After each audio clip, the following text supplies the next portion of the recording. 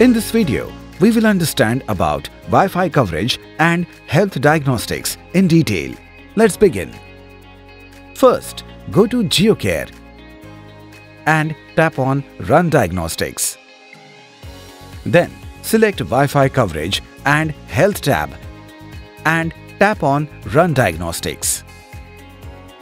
Post-analysis, different parameters will appear on your screen.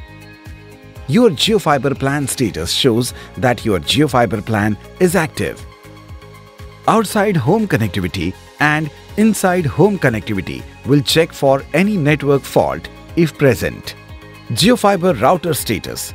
This will let you know the connectivity status of your router, that is, whether your router is connected or not.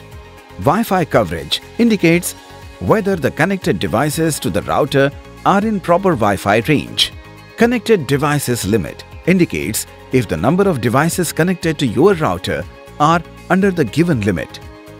If all parameters are in green, it means that the devices connected to your Wi-Fi are in good range. Congratulations! You have successfully understood the Wi-Fi coverage and health feature of JioFiber in detail.